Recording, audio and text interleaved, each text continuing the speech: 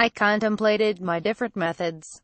Honestly, what led to this moment was losing my whole fucking life. I did lose my reputation. I did lose my family. I did lose everything I had. I lost all love in my life. All because of people I thought were my fucking friends. My friends who I trusted. Who betrayed me. They weren't trying to help me. No one was. I thought this as I contemplated my methods. I had been having problems. And I always felt like asking all those assholes who came after me for doing it. I always felt like asking them why the hell did they give a shit? Why the hell wouldn't they let me do it? These people who were all okay with body modifications and tattoos, which those hurt your body. So is what I did not acceptable. It doesn't matter. I didn't care whether I was accepted now. It was obvious I never was and what I did would never be forgiven or forgotten. I traced the floor to the wall, flashing my eyes around my bedroom. 13 minutes to 4 p.m. My parents were both out of the house. I had time to do whatever I needed. I'm past the point of deciding not to. So, I contemplated my different methods. When I finally picked one, I recounted my long months in asylum. I was always asked the same questions over and over by people telling me there had to be some motivation or diagnosis.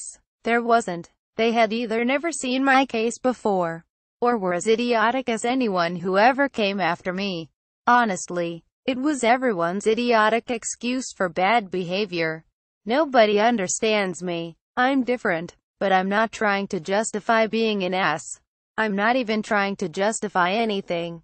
This is just a note to leave behind. I've contemplated and picked. I put trust in people. And for idiotic reasons told everyone they knew. I always put trust in the wrong people.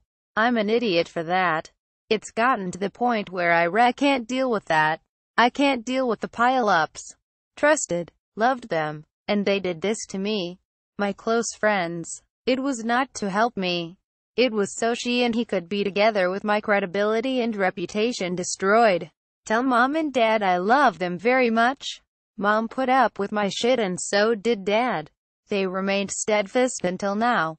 Tell my family I love them all very much and will miss them. Tell those who are still friends of mine that I will certainly miss them. I won't justify any of my shit to them.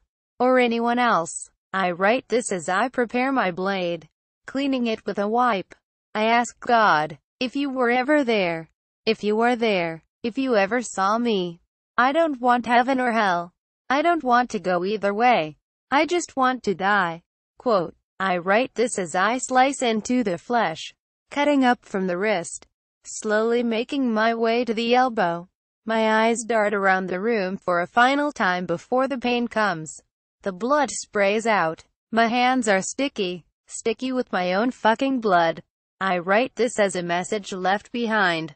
I will miss you all greatly and love you all so much. I hope to fall asleep during this and bleed out in my sleep.